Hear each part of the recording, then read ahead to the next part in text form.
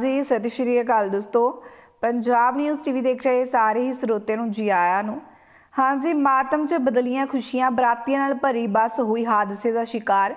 ਵੱਡੀ ਖਬਰ ਆ ਚੁੱਕੀ ਹੈ, ਖਬਰ ਨੂੰ ਸ਼ੁਰੂ ਕਰਨ ਤੋਂ ਪਹਿਲਾਂ ਜਿਨ ਲੋਕਾਂ ਨੇ ਚੈਨਲ ਨੂੰ ਸਬਸਕ੍ਰਾਈਬ ਨਹੀਂ ਕੀਤਾ ਸਬਸਕ੍ਰਾਈਬ ਕਰ ਲੈਣ ਤੇ ਵੀਡੀਓ ਨੂੰ ਅੱਧ ਤੋਂ ਅੱਧ ਲਾਈਕ ਤੇ ਸ਼ੇਅਰ ਵੀ ਕਰ ਦੇਣਾ।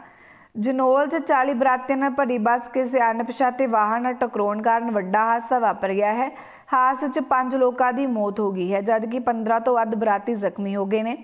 ਹਾਦਸੇ ਤੋਂ ਬਾਅਦ ਬੱਸ ਦੇ ਦੋਵਾਂ ਦਰਵਾਜ਼ੇ ਬੰਦ ਹੋ ਗਏ ਨੇ। ਪੁਲਿਸ ਨੇ ਗੈਰ ਕਟਰ ਨਾਲ, ਗੈਸ ਕਟਰ ਦੇ ਨਾਲ ਬੱਸ ਦੀ ਛੱਟ ਕੱਟ ਦਿੱਤੀ। ਇਸ ਤੋਂ ਬਾਅਦ ਜ਼ਖਮੀਆਂ ਨੂੰ ਬਾਹਰ ਕੱਢਿਆ ਗਿਆ। ਘਟਨਾ ਮਾਧੋਗੜ ਕੋਤਵਾਲੀ ਇਲਾਕੇ ਦੀ ਹੈ, ਹਾਦਸਾ ਕਰੀਬ 2 ਵਜੇ ਵਾਪਰਿਆ।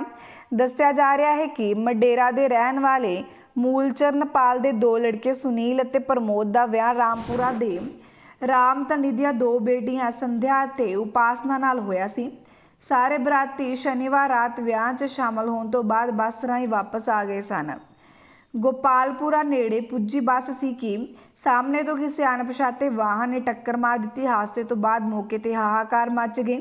ਇਸ ਸੰਬੰਧੀ ਸਥਾਨਕ ਲੋਕਾਂ ਤੇ ਰਾਹਗਾਰਾਂ ਨੇ ਪੁਲਿਸ ਨੂੰ ਸੂਚਨਾ ਦਿੱਤੀ। ਮੌਕੇ ਤੇ ਪੁੱਜੀ ਪੁਲਿਸ ਨੇ ਬੜੀ ਮੁਸ਼ਕਲ ਨਾਲ ਬੱਸ 'ਚ ਫਸੇ ਲੋਕਾਂ ਨੂੰ ਬਾਹਰ ਕੱਢਿਆ, ਜਿਸ ਨੂੰ ਤੁਰੰਤ ਇਲਾਜ ਲਈ ਮਾਧੋਗੜ ਕਮਿਊਨਿਟੀ ਹੈਲਥ ਸੈਂਟਰ ਵਿਖੇ ਦਾਖਲ ਕਰਵਾਇਆ ਗਿਆ। ਬਾਕੀ ਖਬਰ ਨੂੰ ਅੰਤ ਤੱਕ ਦੇਖਣ ਲਈ ਤੁਹਾਡਾ ਬਹੁਤ ਬਹੁਤ ਧੰਨਵਾਦ।